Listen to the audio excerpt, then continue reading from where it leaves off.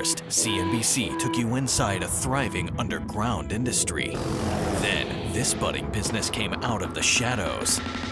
Now, take an all new look at Rocky Mountain legal weed. Colorado's always been known as kind of the Wild West. Travel to a place unlike any other in America, We are open for business.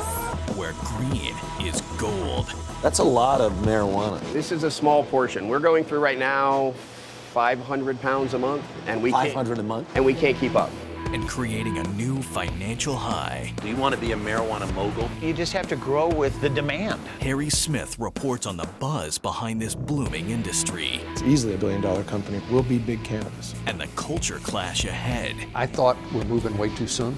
I don't really need more drug related problems than I've already got. Marijuana in America, Colorado Pot Rush. Premieres Wednesday, 10 Eastern on CNBC.